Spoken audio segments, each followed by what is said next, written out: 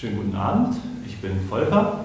Ich lese zum Safer Internet Day heute aus dem Buch von Ilya äh, Trojanov und Juli C., Angriff auf die Freiheit. Und zwar erstmal einen kurzen Abschnitt und dann das äh, Kapitel Nummer 8. Trotz dieser Remilitarisierung haben sich manche Hoffnungen nach 1989 und 90 durchaus erfüllt. Andere konnten noch immer könnten noch immer verwirklicht werden.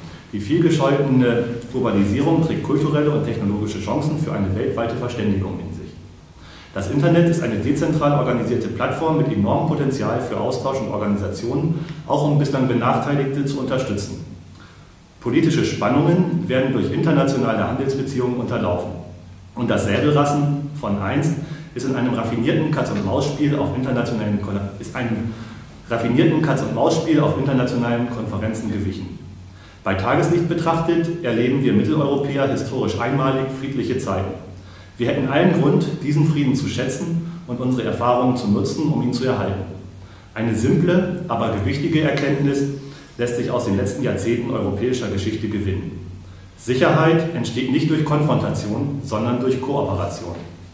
Statt diese Regel auch jenseits der europäischen Grenzen hochzuhalten, töten und dröhnen Politiker und Experten, die Welt sei chaotisch geworden als wäre sie in früheren Epochen übersichtlich und ordentlich gewesen. Die Bedrohung unseres Landes und jedes Einzelnen von uns sei größer als je zuvor. Im Vergleich etwa zur nuklearen Bedrohung ähm, vor wenigen Jahrzehnten. Das schlimme Schlagwort Clash of Civilizations wird in der deutschen Übersetzung zum noch schlimmeren Kampf der Kulturen. Politik und Medien verbreiten den Eindruck, nicht nur unsere Länder, nein, unser ganzer Kulturraum unser, und unser Wertesystem würden von gegnerischen Mächten angegriffen. Da ist er wieder, unser selbstgemachter Krieg der Sterne. Gut gegen Böse, Schwarz gegen Weiß.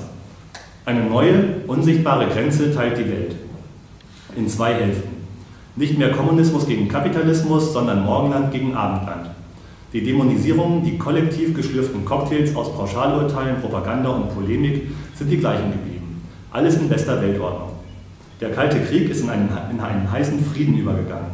Nicht als notwendige Konsequenz der Ereignisse, sondern als Folge einer rhetorischen Hysterie. Im Alltag des Einzelnen trägt die neue gefühlte Friedlosigkeit seltsame Züge. Am Flughafen ziehen wir unsere Schuhe und Gürtel aus und warten umso länger, wenn vor uns in der Schlange ein Mann mit arabischem Nachnamen oder orientalischen Gesichtszügen steht.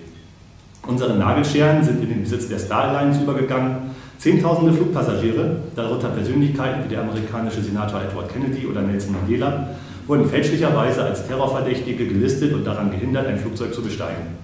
In den Nachrichten vernehmen wir die immer gleichen Meldungen aus dem Irak und Afghanistan und haben längst aufgehört, die Toten zu zählen. Forderungen und Fragen, die wir längst bei den Akten glaubten, erfahren eine Renaissance.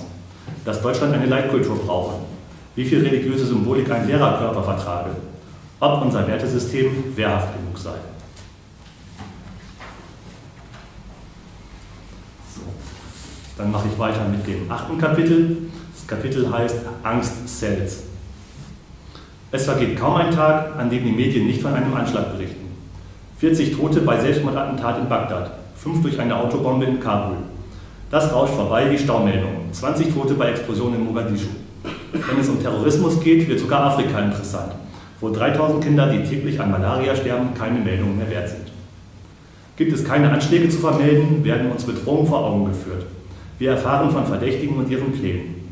Die Deutsche Islamisten AG titelt etwa der Fokus und wälzt die erstaunliche Nachricht, dass es auch gewalttätige Fanatiker deutscher Herkunft gebe, auf zwölf Seiten aus. Der Inhalt ist konfus. Unter der Überschrift Das ganze Land erobert wird von 30 bis 40 Gotteskriegern gesprochen. Einer dieser jungen, zum Sterben bereiten Männer trifft sich mit dem Fokusjournalisten und parliert im Café über Islamismus. Im Hintergrund raunen anonyme Sicherheitsbeamte, die ganze Rhein-Main-Schiene ist verseucht. Der Mangel an konkreten Hinweisen hindert den Fokus nicht daran, eifrig über grausige Gefahren zu spekulieren. Erst der Finanzkrise ist es gelungen, den Terrorismus von Platz 1 der medialen Charts zu verdrängen. Die Gefahr eines leeren Geldbeutels ist auf einmal wichtiger als die apokalyptische Bedrohung des Abendlandes. Das wirft ein Schlaglicht auf die Manipulierbarkeit der Öffentlichkeit wie auch auf unsere wahren Prioritäten. Gewiss, in einer modernen Demokratie gibt es kein Pro in einer modernen Propaganda In einer modernen Demokratie gibt es keinen Propagandaapparat.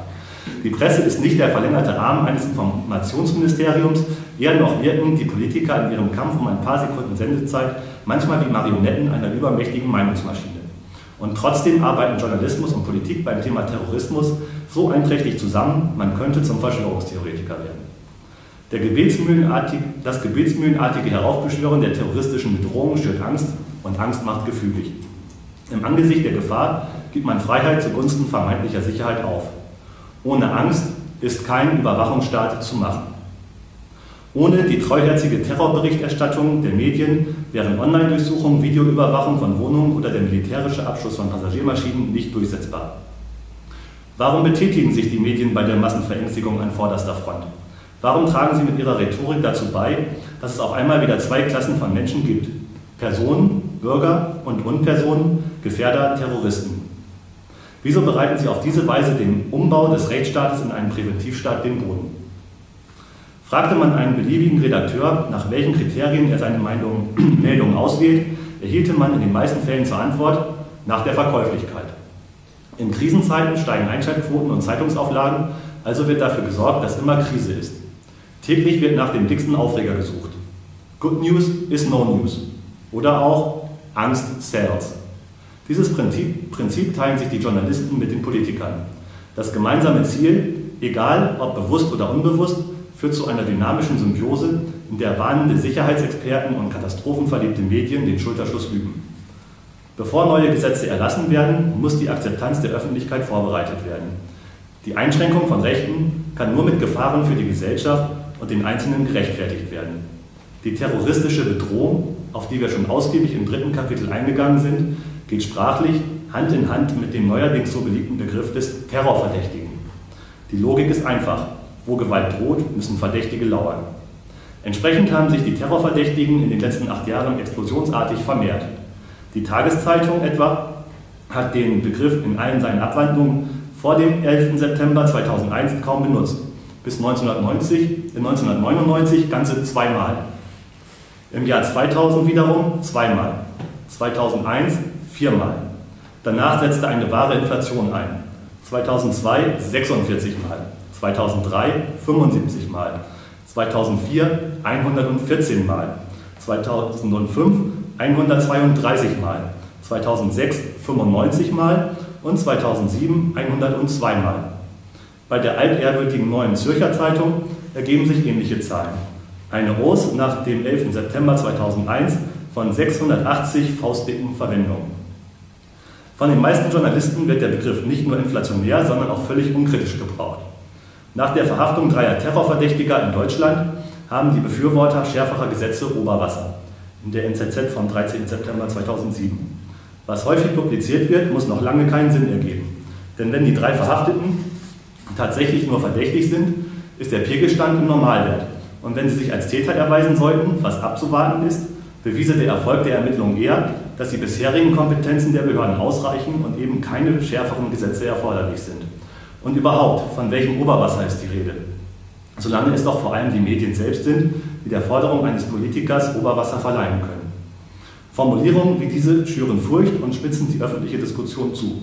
Der Terror am Anfang des Begriffs Terrorverdächtiger dominiert die Wahrnehmung, dass es nur um einen Verdacht geht, wirkt dagegen wie ein nebensächlicher, nachgetragener Gedanke, eine nicht weiter zu beachtende Fußnote.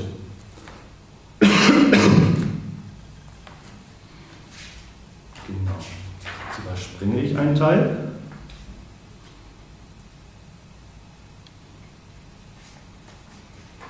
Und dann geht es weiter. Bemerkenswert in diesem Zusammenhang ist die beinahe lückenlose Einheitsfront, in der sich die Medien zusammengefunden haben. Welche Zeitung, welches Fernsehprogramm würde es wagen, den Ernst der Lage und das Ausmaß der Bedrohung kritisch in Frage zu stellen? Welcher Journalist will sich als Terroristenversteher in Verruf bringen? Indem er Notwendigkeit und Nutzen der staatlichen Terrorismusbekämpfung ernsthaft in Zweifel zöge. Diskutiert werden allenfalls Details. Vielleicht findet ein Kommentator die Online-Durchsuchung nicht so richtig in Ordnung. Einem anderen wiederum kann es mit neuen Sicherheitsgesetzen gar nicht schnell genug gehen. Aber wer stellt die Gretchenfrage? Ist das Abendland, ist unsere Zivilisation tatsächlich in Gefahr? Und wenn ja, wodurch? Anscheinend hat fast der gesamte Medienbetrieb die Prämisse geschluckt, dass der Terrorismus und nicht etwa seine Bekämpfung die westliche Kultur bedrohe und etwas, nämlich vornehmlich durch das Ausweiten staatlicher Kontrollmöglichkeiten, dagegen getan werden müsste.